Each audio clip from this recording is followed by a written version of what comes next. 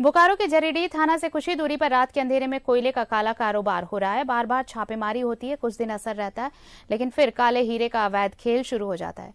SP एक बार फिर कार्रवाई का भरोसा दिला रहे हैं।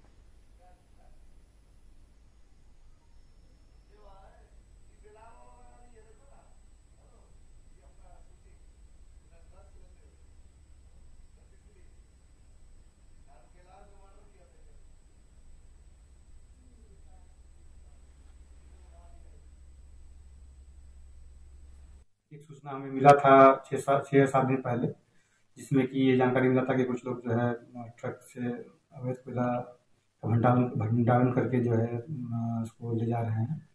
तो उस संदर्भ में जरीडी में ही हम लोग उसमें छापामारी करके जो है, कोयला को जब्त किया गया था तकरीबन तीस टन, और उस पर हम लोग कांड भी, प्राथमिकी भी दर्ज किए थे।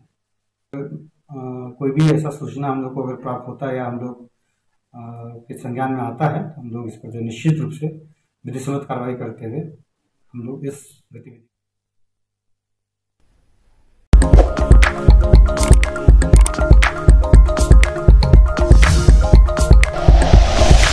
like and share videos, subscribe करें हमारा चैनल और प्रेस करें बेल आइकॉन न्यूज़ 11 भारत सच है तो दिखेगा।